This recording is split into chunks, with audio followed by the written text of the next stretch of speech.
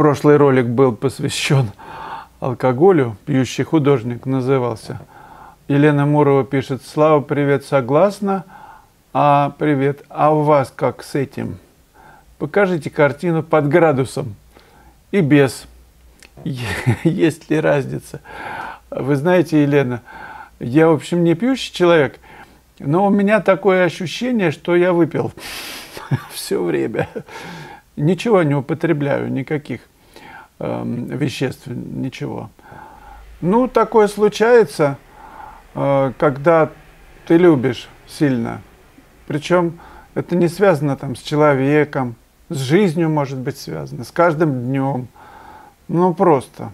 Я, кстати, вам прочту небольшое эссе на эту тему попозже, сегодня.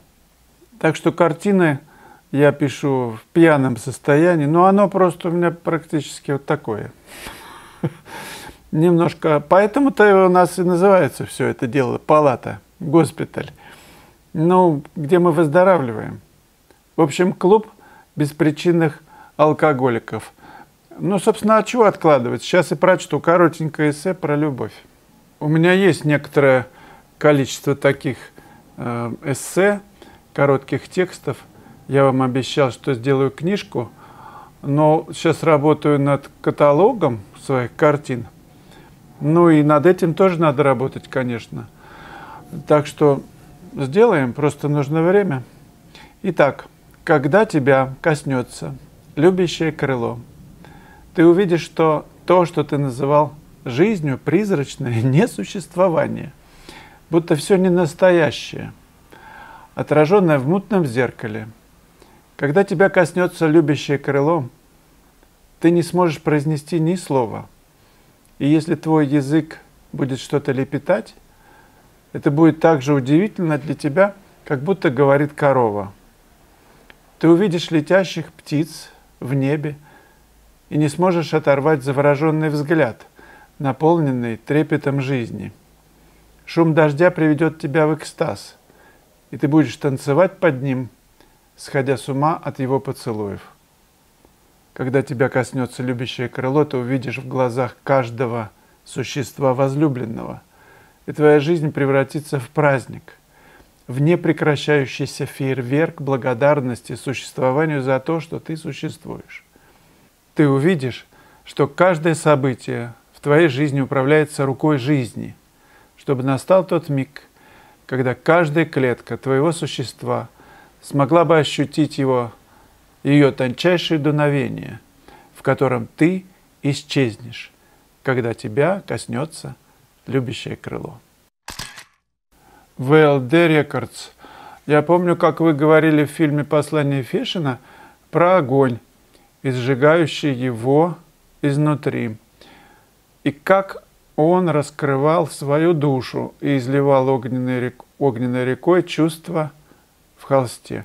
Хочется понять, как вызвать это зарево огня. У вас оно есть?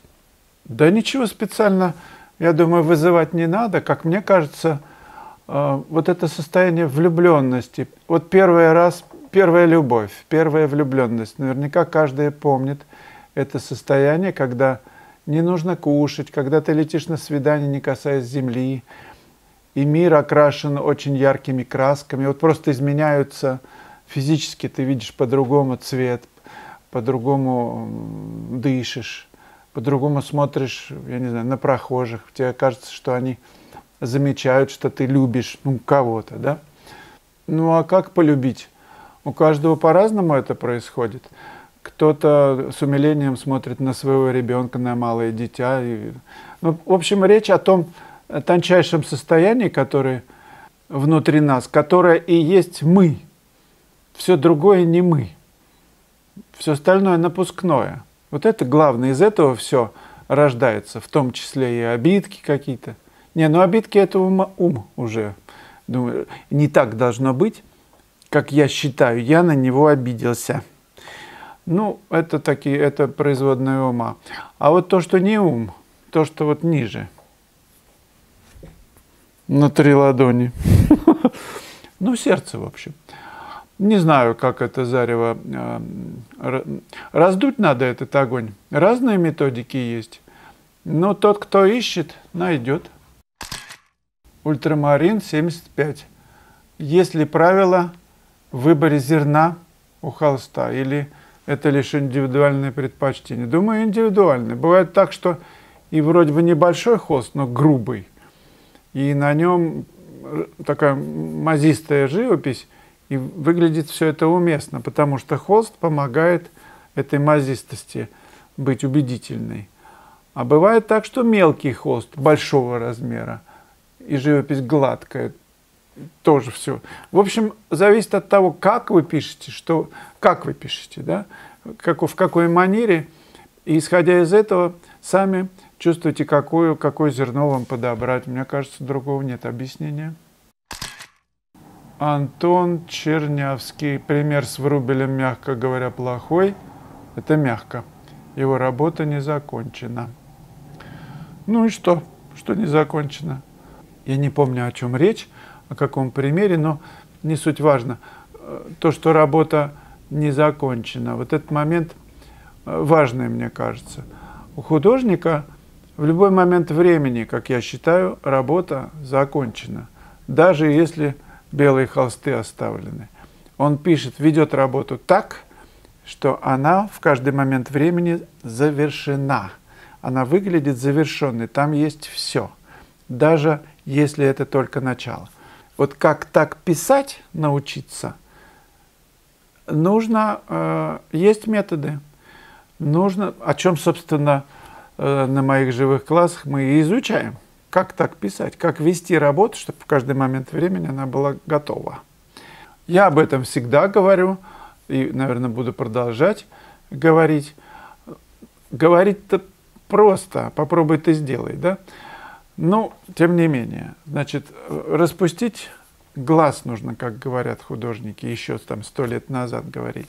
Распустить глаз – это, значит, смотреть не в фокусе, а смотреть выделять главные пятна в мотиве, на который вы смотрите, и э, сравнивать их между собой в тоне, и закладывать вот эту вот неясность, какую-то приблизительность, закладывать в холсте. Это вот первый этап.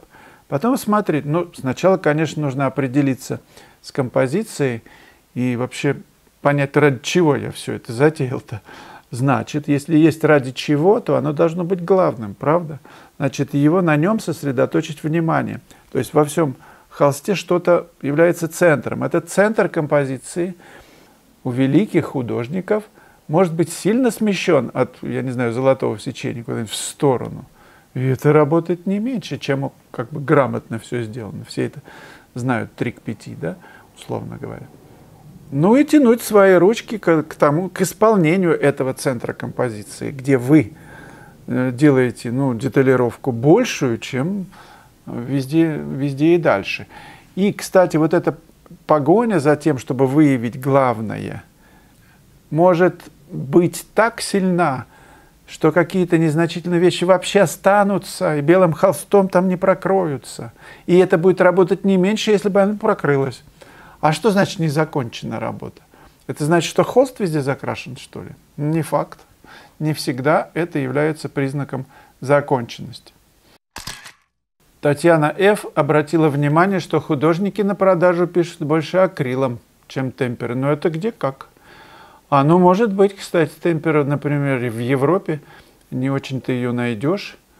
Масло, безусловно, на первом месте, ну, согласен. Акрил популярнее, темперы у покупателя. А, это вопрос, акрил популярнее – да я не знаю, популярнее или нет. Скажите, друзья, что вы об этом думаете. Мне кажется, популярно что-то необычное. Необычные решения всегда будут популярны. А чем это написано? Это, мне кажется, на втором месте. А, зрители хотят необычности, неожиданности в живописи, в любви и сексе, конечно. Извините, о чем я? Но у нас канал для взрослых, у меня написано 18+. Михаил Муф. Хотелось бы услышать ваше мнение о новой, со слов производителя, революционной бумаги для масла. Stonehenge All Paper. Oil Paper. Это хлопок с гладкой поверхностью, как акварельной бумаги, не пропускающей масло наизнанку. Если послушать отзывы, вещь бомбическая. Друзья, прошу вас, скажите. Я ни в коем не в курсе, потому что на бумаге я как-то прям ну, не пишу. Ну, что писать на бумаге, если холст есть? Ее выпустили в 22 году. Друзья, значит, Stonehenge Oil Pepper. Будьте любезны, сообщите, кто пробовал. И в Телеграм. Кстати, подписывайтесь. Наш канал же есть в Телеграме. И там все выкладывают работу. Выкладывайте, друзья, ваши эксперименты на этой бумаге, чтобы прям посмотреть, что это такое. Мне пришлите тоже. Еще напомню, что у нас серьезнейшая сейчас акция в 55% на уроки по портрету. 5 уроков. Можно один купить, можно 5. Так что заходите в школу. Один человек написал мне сегодня в Инстаграм, а почему, а почему не 52, не 58 процентов? Прикол такой. 55 в общем. Не знаю почему. Так, так сказали мне. Голос был сегодня, шел по коридору в нашей палате, в нашем госпитале. И голос был 55 процентов, скажи. Ну, я и сказал, написал. Так, вы не забудьте отметиться в журнале закорючки крестики. Любовь, конечно, вот эти вот сердечки. Очень люблю я сердечки. Чем больше, тем лучше. Я никак не могу себя найти в живописи. 552 Никодим. Ну что делать? Надо искать. Друзья, давайте Никодиму поможем найти себя в живописи. Ну, дорогу осилит же идущий. Лягушка прыгала-прыгала, в молоке попала в бидон с молоком и превратился этот, э, в масло, вот это все. И она выскочила на берег. Сучить лапками нужно, Никодим. 552 раза посучите, и найдете себя в живописи. Ничего. Потихонечку все находят. Но это по дороге просто надо идти туда, на вершину мастерства.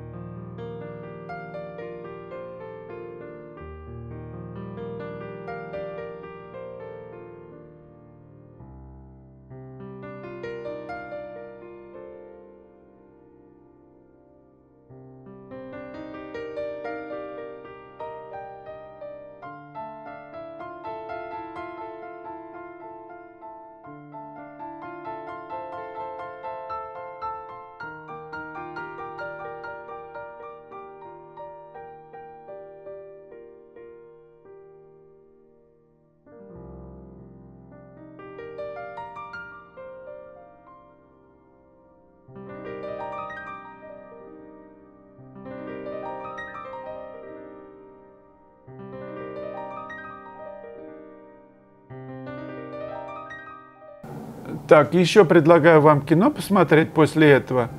Учебные и творческие работы. Так что удачи, до новых встреч.